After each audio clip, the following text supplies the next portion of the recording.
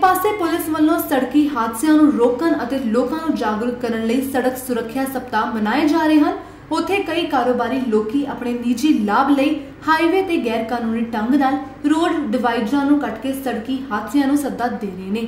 ਮਾਮਲਾ ਹੈ, ਰੂਪਨਗਰ ਤੋਂ ਫਗਵਾੜਾ ਨੈਸ਼ਨਲ ਹਾਈਵੇ ਤੇ ਸਥਿਤ ਇੱਕ ਹੋਟਲ ਮਾਲਕ ਵੱਲੋਂ ਨੈਸ਼ਨਲ ਹਾਈਵੇ ਵਿਚਕਾਰ ਬਣੇ ਡਿਵਾਈਡਰ ਨੂੰ ਕੱਟ ਕੇ ਆਪਣੇ ਹੋਟਲ ਨੂੰ ਰਸਤਾ ਕੱਢਣ ਦਾ।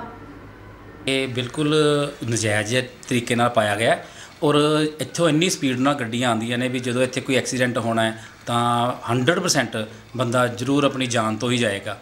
ਔਰ ਇਹ ਇੱਥੋਂ ਦੇਖ ਕੇ ਇਹ ਪਤਾ ਲੱਗਦਾ ਹੈ ਵੀ ਇਹ ਜਿਹੜਾ ਕੱਟ ਹੈ, ਇਹ ਸਿਰਫ ਔਰ ਸਿਰਫ ਜਿਹੜਾ ਉੱਥੇ ਹੋਟਲ ਬਣਿਆ ਹੈ, ਉਹਦੇ ਫਾਇਦੇ ਲਈ ਕੀਤਾ ਗਿਆ ਹੈ।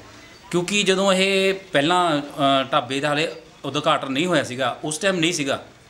ਮੇਰਾ ਆਣਾ ਜਾਣਾ ਬ- ਕਾਫੀ ਹੈ ਇੱਥੇ ਤੋਂ ਰੋਡ ਤੋਂ। ਔਰ ਮੈਂ ਦੇਖ ਵੀ ਰਿਹਾ ਸੀਗਾ ਇਹ ਢਾਬੇ ਤੇ ਜਦੋਂ ਇੱਥੇ ਟਾਈਲਾਂ ਟੁੱਲਾਂ ਜਿਹੀਆਂ ਪੱਟ ਰਹੇ ਸੀਗੇ ਪਰ ਮੈਂ ਸੋਚਿਆ ਵੀ ਸ਼ਾਇਦ ਕੋਈ ਰਿਪੇਅਰ ਚੱਲਦੀ ਪਈ ਹੈ ਕਿਸੇ ਮਹਿਕਮੇ ਵੱਲੋਂ। ਪਰ ਉੱਥੇ ਤੋਂ ਦੇਖਿਆ ਜਾਂਦਾ ਤਾਂ ਉਹਦੇ 'ਚੋਂ ਬਹੁਤ ਜ਼ਿਆਦੀਆਂ ਉੱਥੋਂ ਟੈਲਾਂ ਜਿਹੀਆਂ ਪੱਟ ਕੇ ਇੱਕ ਨਜਾਇਜ਼ ਜਾਂ ਕੱਟ ਬਣਾ ਲਿਆ। ਔਰ ਸਿਰਫ ਔਰ ਸਿਰਫ ਇਹ ਢਾਬੇ, ਕਿਉਂਕਿ ਉੱਥੇ ਕੋਈ ਹੋਰ ਦੁਕਾਨ ਹੈ ਨਹੀਂਗੀ ਕੋਈ ਕਿਸੇ ਤਰ੍ਹਾਂ ਦਾ ਕੋਈ ਕੁਝ ਵੀ ਨਹੀਂ ਹੈਗਾ ਆਲੇ ਦੁਆਲੇ ਸਿਰਫ ਢਾਬਾ ਹੈ ਉਹ।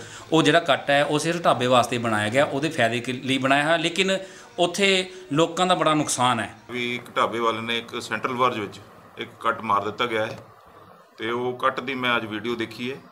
ਤੇ ਉਹ ਕੱਟ ਅਸੀਂ ਬੰਦ ਕਰਾ ਰਹੇ ਹਾਂ ਇਮੀਡੀਏਟਲੀ ਤੇ ਨਾਲੇ ਉਹ ਜਿਹੜੇ ਢਾਬੇ ਨੇ ਕੱਟ ਮਾਰਿਆ, ਉਸ ਤੇ ਅਸੀਂ ਪੈਨਲਟੀ ਲਾਵਾਂਗੇ ਤੇ ਜਿਹੜੀ ਕਾਸਟ ਉਹਨੇ ਸਰਕਾਰ ਦੀ ਵੇਸਟ ਕੀਤੀ ਹੈ, ਉਹ ਅਸੀਂ ਉਸ ਤੋਂ ਰਿਕਵਰ ਕਰਨ ਲਈ ਅਸੀਂ ਉਹਦੇ ਅਗੇਂਸਟ ਕਾਰਵਾਈ ਕਰ ਰਹੇ ਹਾਂ ਤੇ ਉਹ ਛੇਤੀ ਕਾਰਵਾਈ ਕਰਕੇ ਅਸੀਂ ਰਿਸਟੋਰ ਕਰ ਦੇਵਾਂਗੇ ਨਾ ਤਾਂ ਇਹ ਸਾਡਾ ਕੱਟ ਅਸੀਂ ਨਾ ਬਣਾਇਆ, ਨਾ ਸਾਨੂੰ ਪਤਾ, ਕਿਉਂਕਿ 13 ਤਰੀਕ ਦੀ ਸਾਡੀ ਓਪਨਿੰਗ ਹੈ।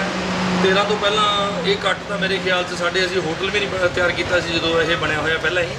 ਪਰ ਸਾਨੂੰ ਇਸ ਕੱਟ ਨਾਲ ਕੋਈ ਮਤਲਬ ਨਹੀਂ ਹੋਇਆ। ਸਾਡਾ ਅਸੀਂ ਇੱਥੋਂ ਘੱਟੋ ਘੱਟ 1 ਕਿਲੋਮੀਟਰ ਦੇ ਅੱਗੇ ਯੂ ਟਰਨ ਅਸੀਂ ਉਹ ਆਪਣਾ ਬੋਰਡ ਪਰੇ ਲਾਇਆ ਹੋਇਆ, ਕਿਉਂਕਿ ਇਹ ਨੁਕਸਾਨਦਾਇਕ ਕੱਟ ਹੈ ਇਹ। ਰੂਪਨਗਰ ਤੋਂ ਸੱਜਣ ਸੈਣੀ ਦੀ ਰਿਪੋਰਟ ਚੈਨਲ 2